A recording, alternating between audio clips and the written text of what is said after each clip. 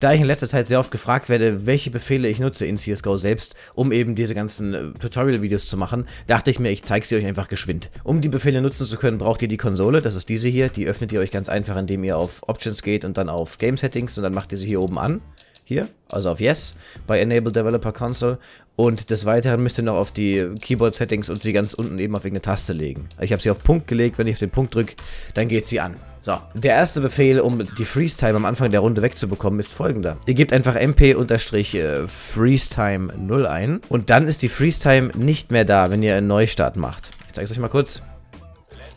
So, jetzt kann ich direkt anfangen. Des Weiteren gebe ich, das habt ihr eben gesehen, mp-restart game ein, um eben das Spiel direkt neu zu starten. Jetzt wollen wir natürlich noch mehr Rundenzeit haben, damit wir auch mehr Zeit haben, um überhaupt irgendwas zu machen. Dafür geben wir einfach mp-roundtime-diffuse 60 ein. Also 60 steht dann in dem Fall einfach für, ich glaube, 60 Minuten. So, Jetzt haben wir 60 Minuten Zeit, um hier rumzudödeln. Das ist ja schon mal nicht schlecht. Wenn wir jetzt ein Smoke oder Nate Tutorial machen wollen, ist es echt ärgerlich, wenn man äh, seine Nate verwirft und dann ist sie weg. Darum brauchen wir folgenden Befehl. SV-Infinite-Ammo Leerzeichen 1. Und nachdem ihr das eingegeben habt, habt ihr einfach alles immer wieder. Es refresht sich direkt. Also ihr könnt dann äh, schon mal unendlich viele Smokes schmeißen und müsst dann nicht ständig irgendwie einkaufen gehen. Wenn man Smokes lernen möchte, ist es natürlich sehr hilfreich, dass man den Weg der Smoke verfolgen kann, also mit so einem Strich. Und das erreicht ihr, indem ihr einfach folgenden Befehl nutzt.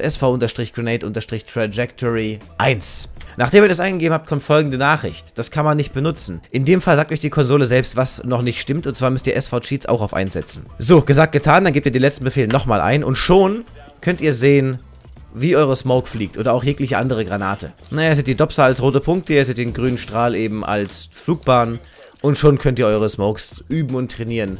Wie Wahnsinnige. Wenn ihr trotzdem aus irgendeinem Grund noch in der Runde was kaufen wollt, wer weiß, weil ihr es am Anfang vergessen habt, äh, Lirum Larum, gebt ihr einfach mp-bytime Leerzeichen 1000 ein. Durch diesen Befehl habt ihr 1000 Sekunden Zeit einzukaufen. Das wird wahrscheinlich reichen, ihr könnt es aber auch einfach noch erhöhen. Wenn ihr nicht genug Geld für eure Käufe habt, dann gebt ihr einfach erstmal mp-max money 9999 ein, damit generell das Cash Limit hochgesetzt ist und dann gebt ihr noch mp-start money und dann eine beliebige Zahl ein. Und wenn ihr dann wiederum neu startet, dann seht ihr, dass ich jetzt ziemlich viel Cash am Start habe, und zwar 9.999. Und ich kann hier auch, solange ich will, eben einkaufen. Wenn ihr jetzt aber den besonderen Wunsch habt, überall einzukaufen, könnt ihr auch noch mp-by-anywhere Leerzeichen 1 eingeben. mp-by-anywhere Leerzeichen 1. Das heißt, ich kann jetzt einfach hier einkaufen. Oder hier. Also ich kann überall einkaufen. Das hier ist übrigens NoClip. Das habe ich mir gebeindet auf eine Taste. Also wenn ihr in die Konsole NoClip eingebt und SV-Cheats aktiviert ist, dann ist es an und wenn ihr NoClip wieder eingebt, ist es aus. Wenn ihr jetzt unbedingt mehr Granaten kaufen wollt als nur diese drei, könnt ihr noch folgendes eingeben. Ammo-Grenade-Limit-Total Leerzeichen 4.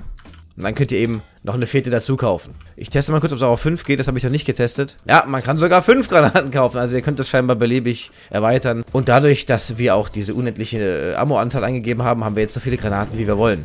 Von allen. Oh mein Gott. Was man natürlich speziell noch für ein Wallbang-Tutorial braucht, ist, dass man die Impact sieht, der Schüsse, also wo sie einschlagen, am besten eben hervorgehoben. Und das geht einfach mit SV-Show Impacts Leerzeichen 1. So, ich habe es eingegeben und jetzt sieht man hier die Impacts. Man kann also so auch direkt die Wallbangs untersuchen, ne? Man kann gucken, wo man durchbangen kann und wo nicht. Und mit welcher Waffe man wo durchbangen kann und wo eben nicht. Ich denke, das war es erstmal soweit. Falls es noch was fehlt oder ihr Fragen habt, könnt ihr mich das gerne in den Kommentaren fragen. Achso, ja, ein kleiner Tipp noch am Ende. Das hat jetzt zwar nichts mit dem Tutorial hier zu tun, aber ich kann euch folgenden Befehl nur ans Herz Herz legen, und zwar cl-mute-team der Zeichen 1. Mit diesem Befehl könnt ihr nicht lesen, was euer Gegnerteam schreibt. Das ist gerade perfekt für Leute, die sich sehr leicht triggern lassen, die dann äh, direkt nur noch am Schreiben sind, das ganze Spiel über. Sowas sollte man generell nicht machen, hört auf mit den Gegnern zu schreiben und mutet sie einfach. Dann könnt ihr auch nicht sehen, was sie schreiben und ihr habt einfach ein ruhigeres Spiel und seid gegebenenfalls nicht so abgefuckt. Ich erlebe es leider immer wieder, gerade bei Jüngeren, dass sie sich komplett mitreißen lassen vom Gegnerteam, also von dem Trash-Talk und dann ultramäßig ausrasten und dann nicht mehr spielen, sondern nur am Schreiben sind. Also gebt diesen Befehl auf jeden Fall auch äh, diverse Male ein, beziehungsweise bindet ihn direkt in eure Config ein, so habe ich es gemacht. Das heißt, sobald ich irgendwo reinjoine, ist das Team automatisch bei mir gemutet. Ich kann nicht lesen, was die Gegner schreiben und das ist wirklich sehr angenehm. Ja, soweit so gut. Vielen Dank fürs Zusehen, macht's gut, bis zum nächsten Mal. Ciao, ciao!